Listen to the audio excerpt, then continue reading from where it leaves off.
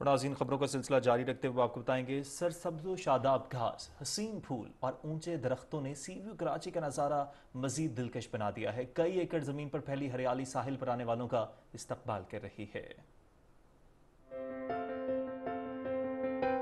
एक तरफ़ सरसब्जो, शादाब ज़मीन तो दूसरी तरफ़ साहिल के दिलकश नज़ारे।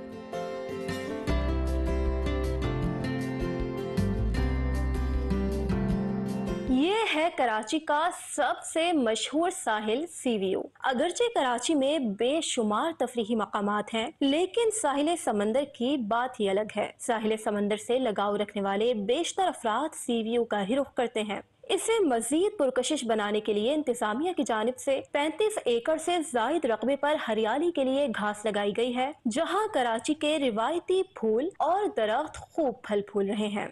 से अच्छी कोई जगह तो है नहीं इसको और भी जो है ना जी डिज़ाइन करना चाहिए अच्छे तरीके से। हम इस्लामाबाद से आए हैं यहाँ कलेक्टन बहुत अच्छा लगा है। एक साइड पे इतनी खूबसूरत बिल्डिंग है दूसरी साइड पे समुंदर है। यहाँ पे मुझे आके बहुत अच्छा लगा है। यहाँ का समुंदर और यहाँ की बड़ी बड़ी बिल्डिंग्स मुझे बहुत अच्छा लगा यहाँ पे। ये जो जदीदियत हम देख रहे हैं बड़ी खुशी महसूस हो रही है। एहलियानी कराची ने इंतजामिया के इस इकदाम को खूब सराहा।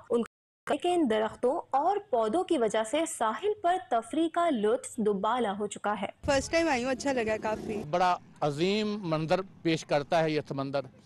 चारों तरफ़ अल्हम्दुलिल्लाह लाइटें लग गई हैं। जो हमारे कराची से बाहर से रिलेटिव वगैरह जो आते हैं हम उनको स्पेशली यहाँ लेकर के आए और उन्होंने यहाँ पे काफ़ी इंजॉय किया। तफरी के लिए देखें बच्चे भी माशाल्लाह घूम रहे हैं बैठ भी रहे हैं यहाँ पे। हरियाली और सफ़ाई साफ़ सुथरे माहौल के लिए बहुत अहम है मगर आगाही भी उतनी ही ज़रूरी है। आवाम को चाहिए कि जिम्मेदार शहरी होने का सबूत दें और साहिल की खूबसूरती को बरकरार रखें। तफरी के मतलाशियों और साहिल समंदर से मोहब्बत करने वालों के लिए ये एक बेहतरीन जगह है। Ayesha Afreen Pakistan television news, Karachi. Rawalpindi की